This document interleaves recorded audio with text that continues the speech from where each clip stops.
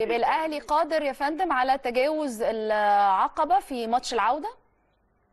يعني المفروض يعني 6-0 الموضوع صعب جدا مم. جدا خليها بس نتكلم بمنتهى الأمانة آه يعني ونرجع للناس فكرة برضه لما مصر لما المنتخب الوطني اتغلب من غانا 6 في عهد برادلي. وقعدنا. نقول آه نقول إن ممكن مصر تقدر تكسب غانا. خلينا نتكلم بواقعية ونكلم الناس بواقعية.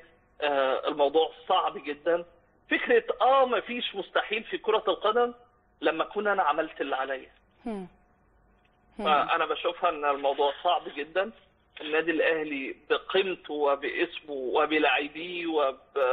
وجماهيريته الكبيرة الناس لازم تفكر كويس جدا إنه غائب عن بطولة إفريقيا لمدة تزيد عن ست سنوات وهو يسير في نفس الاتجاه. اللي صار فيه نادي الزمالك آه، الغائب عن البطولة لأكثر من عشر سنين.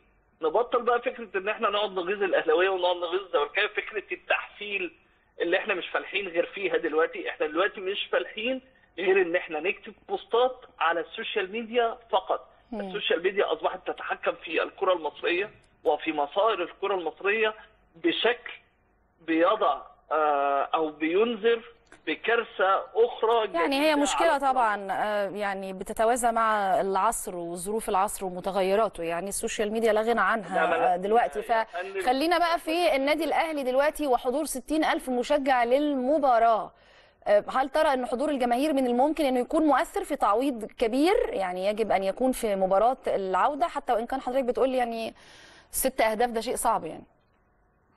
بص حضرتك أنا بكلمك في اولا ال social media آه لا غنى عنها في التطور اللي حاصل. لكن مش هي اللي تتحكم فيا وفي قراراتي ده رقم واحد.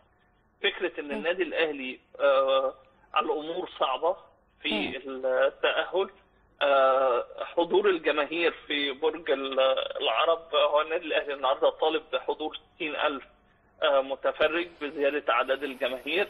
ده قرار الجهات الأمنية لسه ما, يعني ما تمش آه يعني وجود أي قرار بشكل نهائي لكن خليني أقول لك الخبر الأهم اللي كان متداول خلال الفترة اللي فاتت. وهو فكرة مصير لاسارتي المدير الفني للنادي الأهلي في أي معلومات عن مصيره؟ حتى الآن آه النادي الأهلي آه رافض إن هو يتخذ أي قرارات انفعالية. بناء على نتائج لمباريات.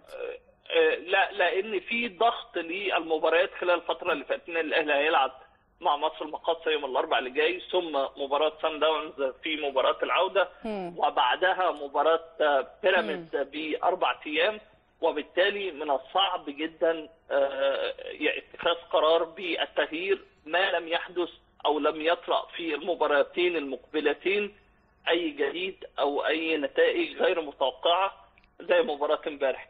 شكرا الناقد الرياضي إسلام صادق. شكرا جزيلا لحضرتك.